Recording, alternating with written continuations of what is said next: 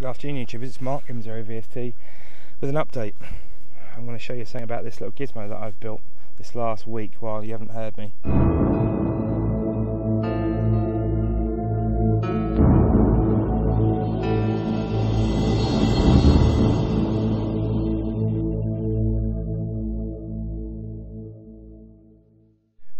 I like to loop, it was easy to tune. Using the reduction drives, it made it so I could get a fine tune where I needed to be basically. Uh, between 6.1 megahertz and 26 and a half or something like that it covers. But I decided that keep getting up and down was a, was a bit much. So I made this thing here. And this thing because it's not re relatively to do with this loop I decided that I could make it slightly gimmicky and a bit daft. So you can it basically you can imagine what it does.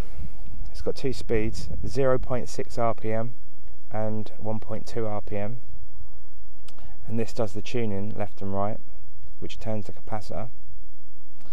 Here is where you join on the uh, the wires to the capacitor, and yet that is a solar panel. That's just topping up trickle charging the batteries inside, because as you can imagine, it's the motor is quite, you have to tune a lot, so I imagined that it's going to eat the batteries fairly fast. And as I had this sitting in my junk box, perfect, why not, hey? So, let me uh, show you how it works.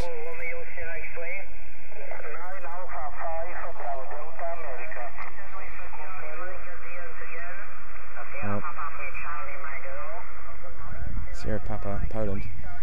The lip's really low again, I'm just getting used to running it like this actually. I like this height, it's quite efficient. Let me show you what happens with the tuning. We've picked a, picked a, oh you can just hear someone then. We'll pick that, yeah, it's pretty noisy, yeah. Listen to the noise when I turn the dial. Here we go. It's dropped right off, yeah, so if I, I now hold the dial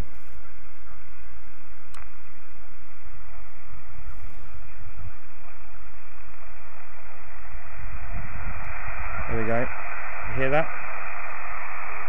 So now I've just picked it up for sound. Uh, yeah, I'm, I'm happy with that. But Wait. Wow, big signal.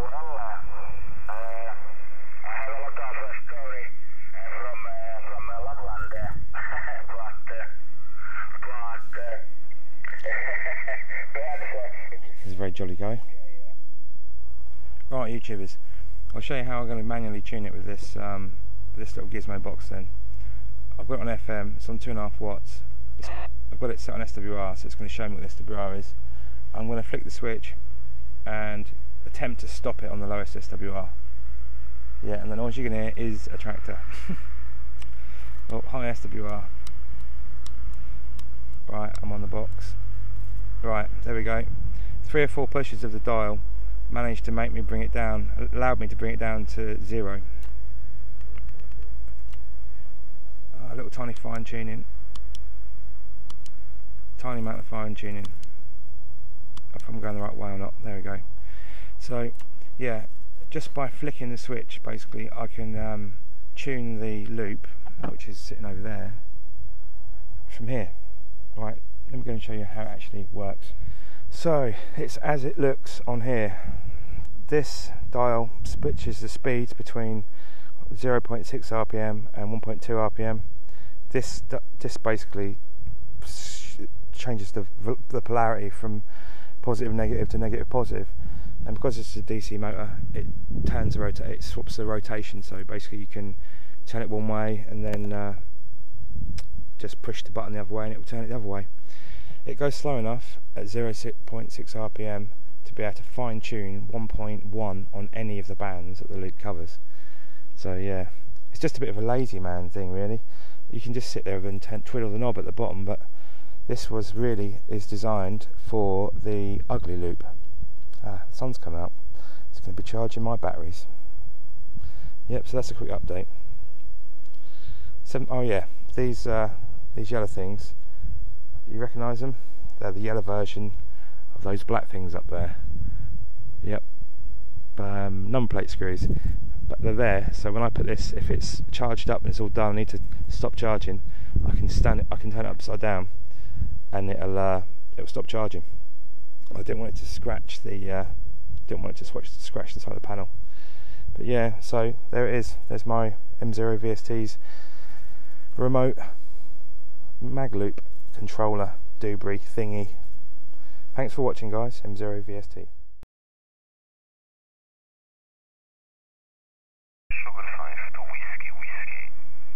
Mike Zero Victor Sierra Tango QRP. Oh, Mike zero Victor Sierra Tango. You're about five and five fifty-five today. My name is Damjan. Back to your main cabin. Yeah, Roger, Roger, Damjan. Um, you're my first contact on 17 metres on a very small, small mag loop. You're a good 5 by 9 plus, Damjan. 5 by 9 plus into England. Uh, Sugar 52, Whiskey, Whiskey. Mike 0, Victor, Sierra Tango, QRP, over.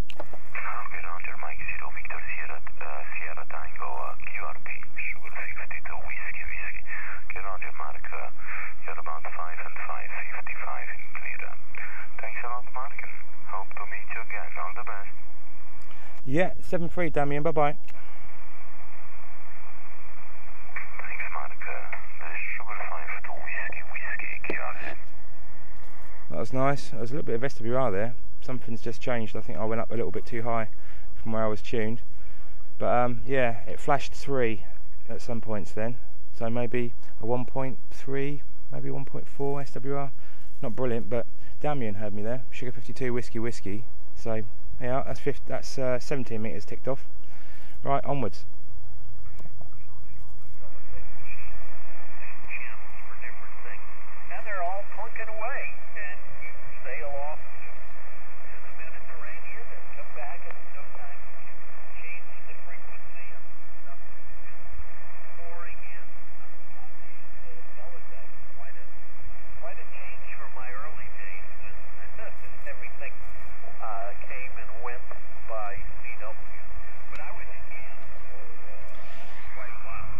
I'll make it there. He's actually got no signal, but we'll press on.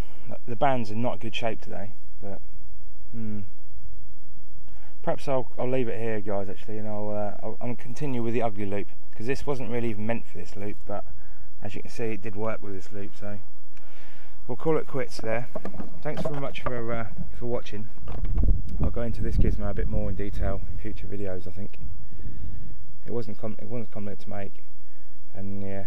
The only thing I had to source was a double pole, double throw switch. I had everything else in the junk box. So yeah, that's quite easy. I think this, this solar panel came from a garden lantern, like a garden lamp, but which died. You know I mean? The bulb went and it was rubbish. So yeah, I scavenged the solar panel off it before it disappeared. And uh, yeah, well I did. It, it works and it charges the batteries. So, from uh, not so sunny Norfolk, 7-3 guys. Oh yeah, watch this.